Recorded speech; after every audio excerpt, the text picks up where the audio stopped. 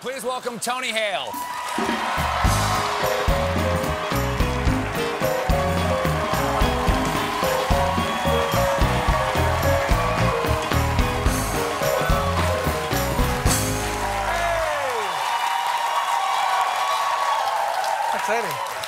Nice to meet you. Nice I'm to meet you. fan. Oh, ditto. And I love doing that bit with you and Tim Kaine in the cold open. You Yes. look so natural behind Tim Kaine there. You Do I? really, yeah. Thank you. Thank you very yeah. much. Is there anything that you think he or Hillary Clinton could learn from watching Veep?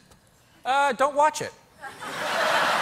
No, no modeling there, no. No, there's not good models of politics on my show. Funny, but Oh, not, a, not, a, funny. not, not Do a you good think model. of it as a political show, though? Ah, that's a good question. Thank um, you. That's what I do for a living. Stephen, that was a fantastic question. Um, I actually, it's funny. I think it's more about actually office politics. You know, it's like these people are kind of positioning themselves to get ahead, spinning stories to get them attention. You know, how close can you get to the popular kids so you can get power? All that stuff. I They're it's terrible people, Oh, they're atrocious people. which is why it seems accurate to me. Have you Yeah. spent a lot of time in Washington, D.C.? We, we, yeah, we, we would shoot some stuff in DC, but before we started the show, we got a chance to kind of meet people that kind of did our jobs. And I Oh, you met, met a guy- body man? I met a body man. no, um, Who did, who did you meet? uh, I can't say. was I it Reggie Love? It wasn't Reggie Love. No, but um, Was I it did. Reggie I Love, did, or is that the name you No. can't say? So you have to say it's not Reggie Love. No, it was not Reggie. I did meet him later, but when we were kind of learning, and previously I met another guy who was a body man to a politician. And you know, he did it in his 20s and he had no life. And it was just like he never saw his family, his friends. And then he kind of moved on to other stuff. My character has done it into his 40s because he has no identity outside of Selina Meyer, worships her. She's Jesus to him. Wow. Yeah. Yeah, it's pretty strong. It's pretty strong. Yeah. It's pretty strong. Yeah. Did you hear the the senator out here talking about uh, being a Jesuit missionary earlier? Yes, I did. Yeah, I did. yeah. I did. And you Yeah. guys did like a Bible game.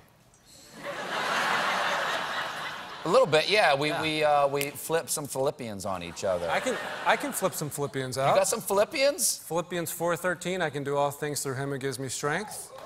Philippians, oh wait, Philippians 4:6, do not be anxious about anything, but in everything by prayer and petition present your requests to God, and the peace of God, which passes all understanding, will guard your hearts and minds in Christ. Bam!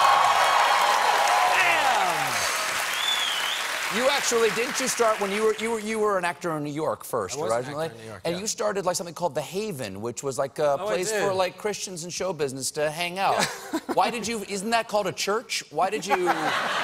Why did you think you had to make like a place called the Haven for Christians and We show were our own business? church. No, I, uh, I had met actually a lot of people whose faith was important to them, and they were artists, and they maybe weren't necessarily supported by the church, what they did. Mm-hmm. So we just get together and see each other's work and encourage each other and do just hang out. It was mainly a reason to get friends. I didn't have any friends. Let's be honest. Nice. That's nice. Yeah. Was Yeah. it dating? Did you guys date or anything? Yeah, we did. Yeah, I met my wife there. Really? Yeah. She, yeah. Wow. Yeah. Hey, hey. She was a she was a makeup artist on Saturday Night Live at the time. Did you enjoy doing that meltdown as as Gary? I did. Thank, thank you for asking. Good question, Stephen. Was that a long time coming? Because your your Uh, character and a couple of characters you've played really do seem on the verge of a breakdown almost Yeah, all and the time. And emasculated. Um, I, And uh, emasculated? And emasculated. Oh, wow. I do emasculation really well.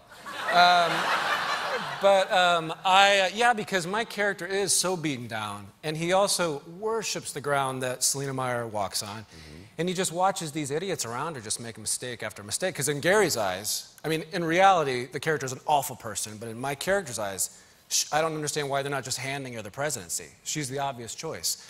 So he's just seen these people make mistake after mistake, and he just, when she didn't get the presidency, he just lost it. He lost it. Do you, when you're doing the show, some of it's improvised, right? Yeah, yeah, we, we can't, because we, you know, very rare to television, they give us like two weeks before we shoot to rehearse. And they give us like five scripts, and we can kind of play around and see what gels. And the writers work incredibly hard on the scripts.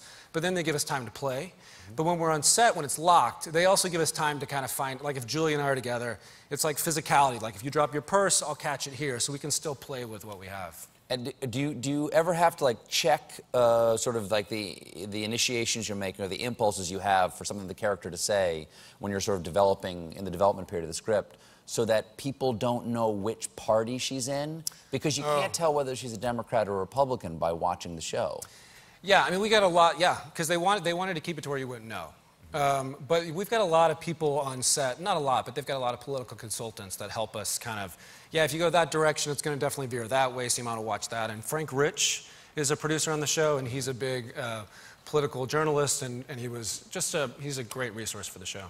Um, well, the show's incredible. Thank you Thanks so very much for much. coming Thank on. you for having me. Lovely to meet you. Thanks for nice playing with uh, Tim.